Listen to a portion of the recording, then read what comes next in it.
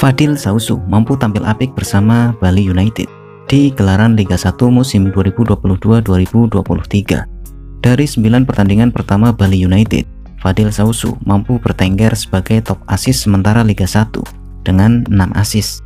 Dia mampu menyalip Vergonzi yang sebelumnya mengoleksi 5 asis.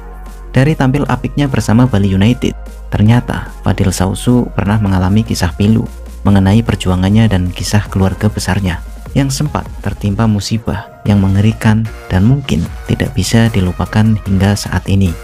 Fadil Sausu lahir pada 19 April 1985 di Palu atau saat ini usianya sudah menginjak 37 tahun. Meski sudah berumur 37 tahun, tapi perannya di lini tengah Bali United masih cukup vital. Dia merupakan salah satu gelandang yang mampu memberikan umpan-umpan manja ke lini serang yang itu sangat berbahaya bagi lini pertahanan lawan. Tercatat, dari 9 laga awal Bali United, dia sudah lima kali tampil dan mencetak 6 asis.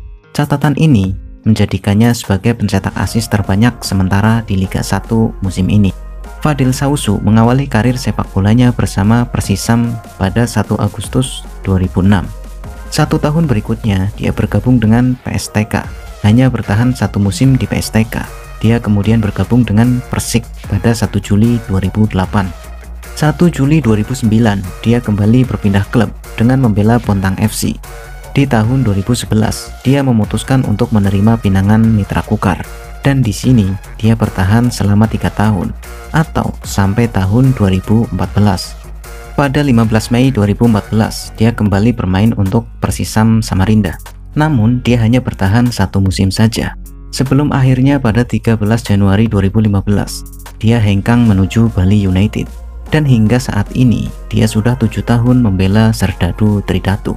Fadil Sausu merupakan sosok pemimpin di Bali United.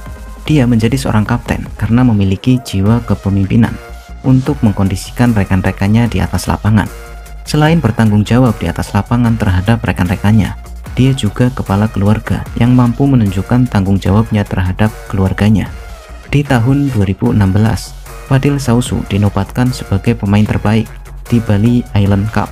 Kala itu dia mendapatkan hadiah sebesar 25 juta rupiah. Di saat yang bersamaan, istrinya masuk ke rumah sakit dan Fadil menggunakan hadiahnya itu untuk mengobati istrinya. Dia juga selalu menyempatkan pulang ke kampung halamannya di Sopeng, Makassar Meski dengan jadwal libur yang cukup singkat, keluarganya sempat mengalami kisah pilu saat gempa dan tsunami menerjang Palu. Diketahui orang tua dan keluarga besarnya tinggal di Palu. Meski orang tuanya selamat kala itu, namun ada beberapa anggota keluarganya yang sempat dikabarkan hilang, termasuk kakak dan keponakannya.